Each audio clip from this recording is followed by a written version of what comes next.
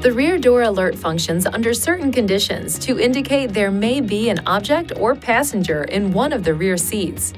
Check the rear seats before exiting the vehicle. The rear door alert does not directly sense objects in the rear seats. Instead, it can detect when the rear door is opened or closed, indicating that there may be something in the rear seats.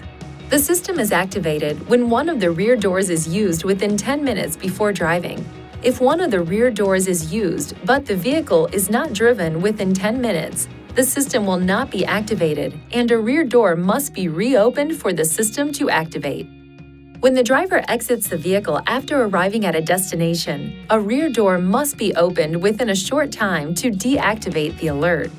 If the driver exits the vehicle while the rear door alert is active, this message will be displayed and the horn will sound.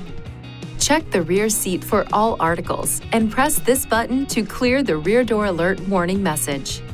If the doors are locked before the alert is deactivated, the horn will sound if selected.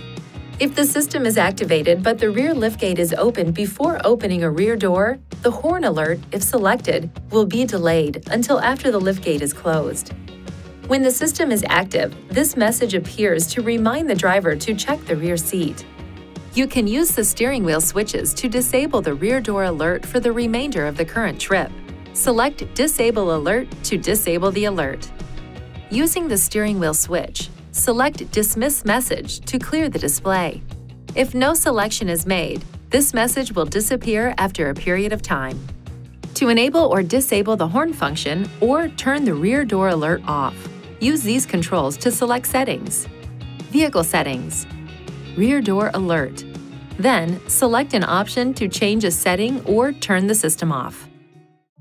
Please see your owner's manual for important safety information, system limitations, and additional operating and feature information.